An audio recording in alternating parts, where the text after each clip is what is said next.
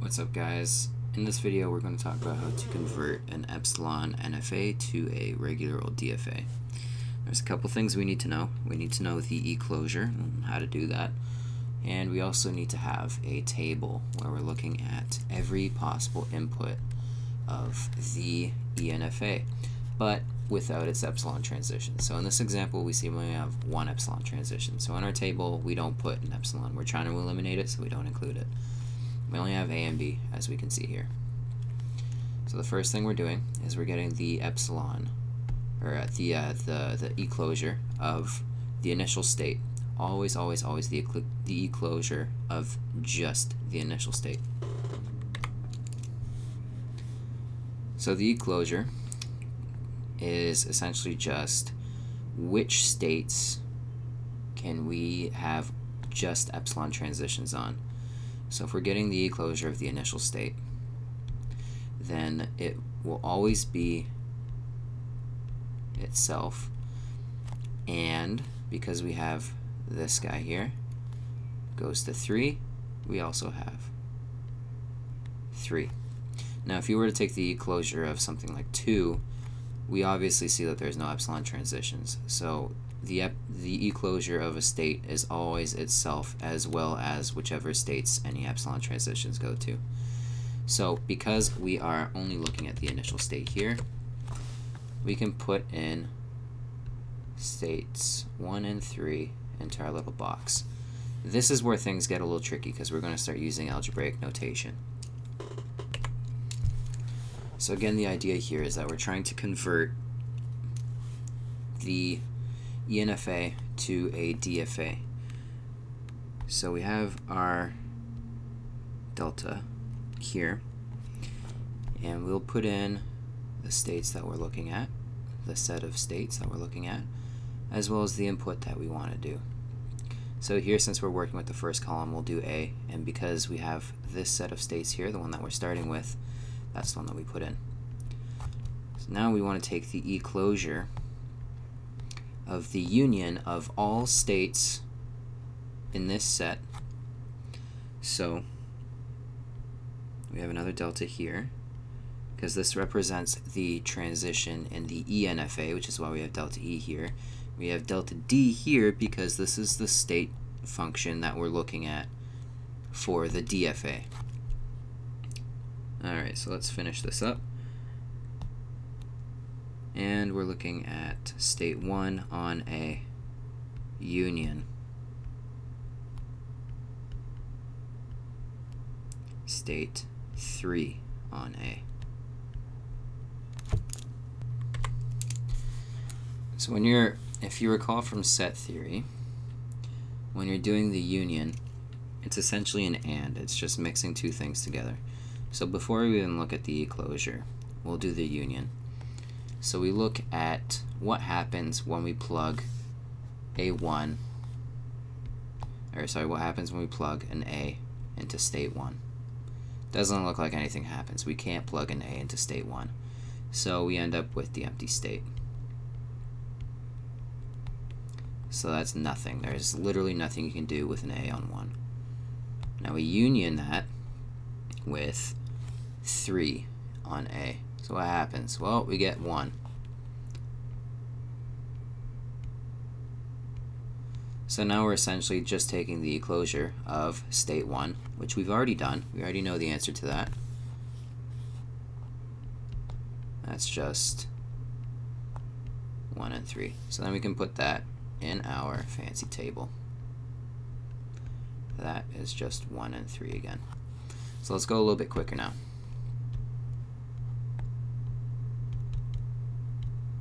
Doing input B, getting the eClosure of, oops, let's put that in there too, on 1, what happens if we get B union, uh, oops, there we go, on 3, B. Okay. So what happens when we get a B on 1? We move to 2. And yeah, that's it. Okay, union, what happens when we get a B on 3? Nothing. So that's just the empty set. What is the eclosure of 2? It's just itself as we went over earlier. So I can put that in our table. Oops.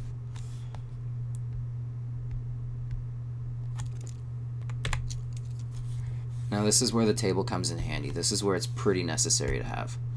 Basically what the table allows you to do is to determine which state you should be looking at next, which set of states you should be looking at next. So you go from left to right and you just look at the first one that you haven't done yet. So if we look from left to right in our table, on input A, we have 1 and 3. We've already done 1 and 3. That's right here. We don't need to do it again. But we have 2 here. So 2 is next on the list. So we'll do our delta function for 2 on A.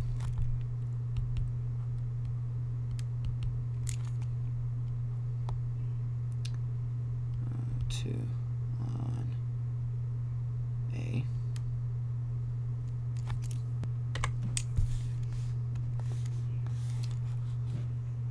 Okay, and since we only have one state, we end it there.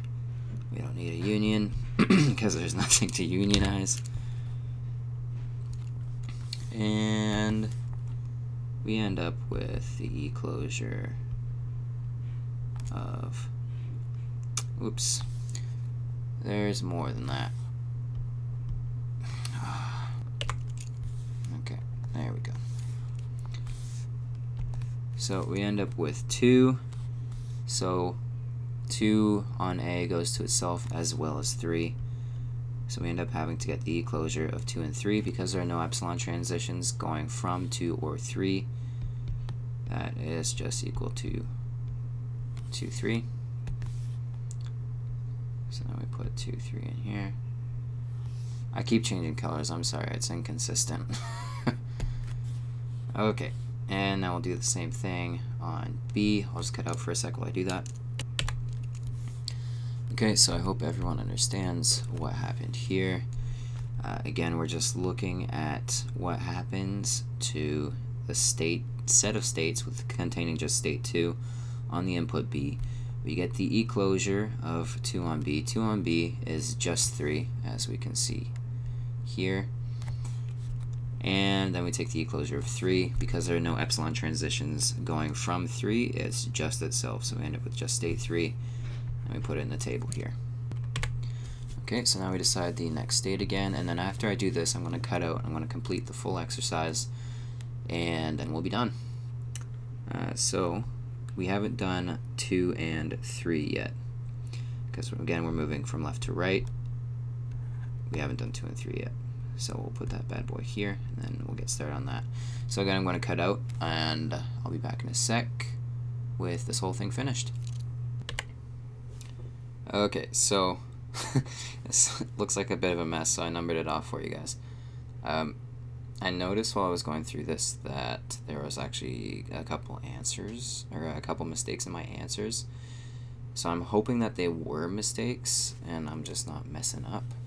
Like here it said 1 and 3, which doesn't really make any sense because if we look at the denomination here, we're taking what happens to 1 on A, nothing, right, which is what we have, and then what happens to 2 on A, um, it goes to itself and 3, which is what we have here. What happens to 3 on A goes to 1. So then if you take the closure of 1, 2, 3, you'll end up with 1, 2, 3, right? Anyway, I could be wrong. I hope I'm not. Uh, I hope the concept is relatively clear regardless. Um, so now I suppose we'll just go right into drawing the DFA. So first we have our initial state.